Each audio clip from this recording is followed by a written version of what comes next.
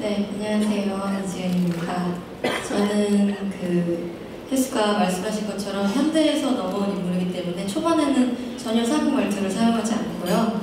어, 또 저희 감독님께서 저희 촬영장에서 계속 음, 디렉팅을 해주셨던 부분이 최대한 사극 어투를 안 썼으면 좋겠다라고 배우들한테 지시를 많이 해주셨어요. 그래서 사실 그렇게 딱 우리가 생각했을 때 사극에선 이런 말투를 쓰지 라고 하는 그 말투를 저희 드라마에서 일단은 다른 배우분들도 많이 안 쓰셨고 어, 혜수는 초반에 완전히 현대 말투로 이야기를 하다가 조금 조금씩 적응해 나가면서 약간은 좀 어, 옛날 사람들의 그런 말투를 배우고 또 황실에 들어가게 되거든요.